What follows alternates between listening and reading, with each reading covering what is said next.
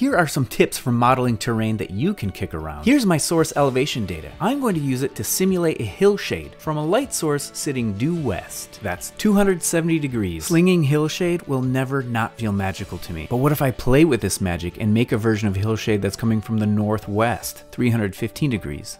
It's beautiful, but pixels are free. What if I try a light source from the north, 0 degrees? Also fantastic. We've made hillshades from light sources at 0 degrees, 350 degrees, and 270 degrees. Each one reveals interesting characteristics of the landscape. Is there any way we can blend them all together? Yes, it's called multi-directional hillshade. I'll turn all these hillshade layers back on and blend them together using the soft light blend mode. Soft light combines the shadows and highlights of all three layers, so more terrain data is getting into our eyes eyes. An alternative option for blending these layers together is one that only takes shadows into account, so the result will be darker. The multiply blend mode gives us this option. It just depends on what the goal is for representing your terrain. There's no wrong answer. But right now we're only using tone to represent shade. What if we also use hue? It's time to get devious. Instead of just a grayscale gradient for these hill shades, what if we use the red, green, and blue color channels to reinforce directionality of light? Then we can blend these channels together using the screen blend mode. The result is kind of cool, it's almost like a color photograph of a black and white surface. Instead of using only tones to represent terrains, our minds can use a little bit of that color to make a surface more realistic. And get this, we can turn this sense of terrain up to 11 by dragging our original elevation layer to the top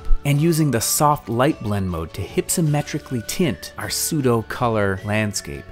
Throwing shade is one of the biggest treats in all of map making.